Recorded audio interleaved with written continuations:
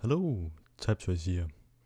In today's video I'll be showing you how to upload and submit videos to Adobe Stock. And we will also talk a bit about how to properly render videos in Premiere Pro so it's ready to submit to Adobe Stock. So without further ado, let's get right into it. The first thing you want to do is to open Premiere Pro and import our video. So open the program and just press on this new project. Let's call this Adobe Stock Video. And just press OK.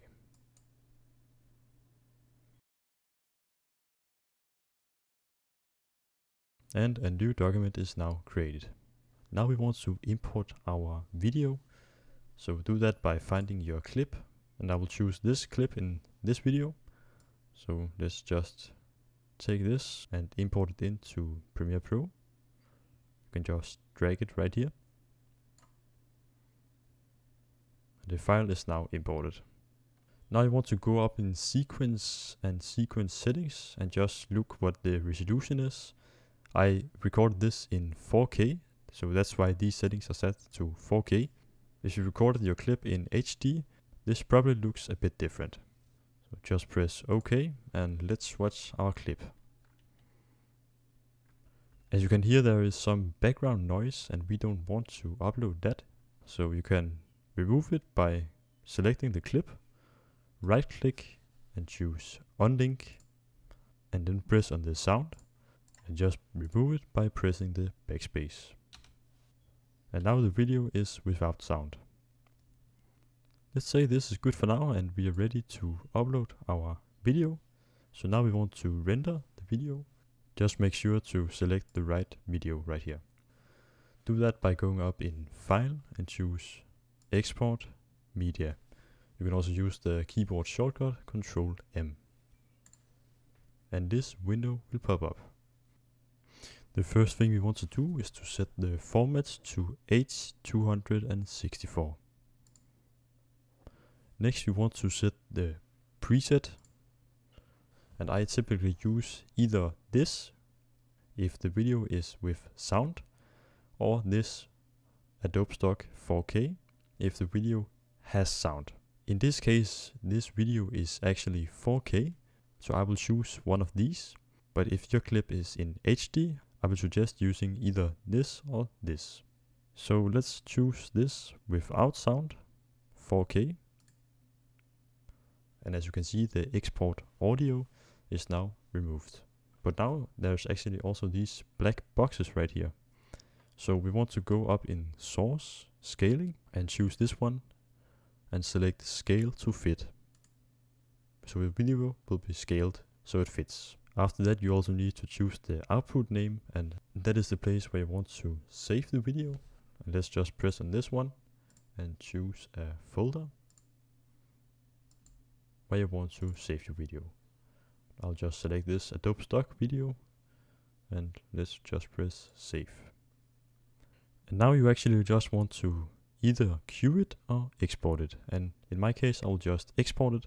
If you have a lot of clips uh, that you want to export right after each other, I would use this queue button. But in this case, we only have one clip, so just press the export and the video will now export.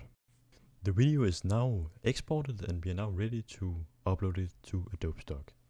I've logged into the Adobe Stock website as you can see right here. The first thing you want to do is to press on the sell button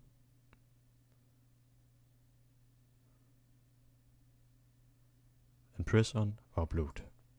Now if you have images or vectors you can just drag them right here but when it comes to videos, you need to do something else. But the first thing you want to do right here is to press on this blue text and this will pop up. Then you want to open FileZilla. If you haven't already this program, it's totally free and you can just go and download it. When FileZilla is opened, you want to copy these three codes in the boxes right here.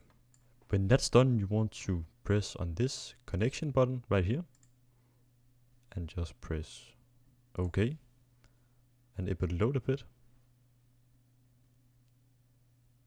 And when you can see this folder right here, you are logged on.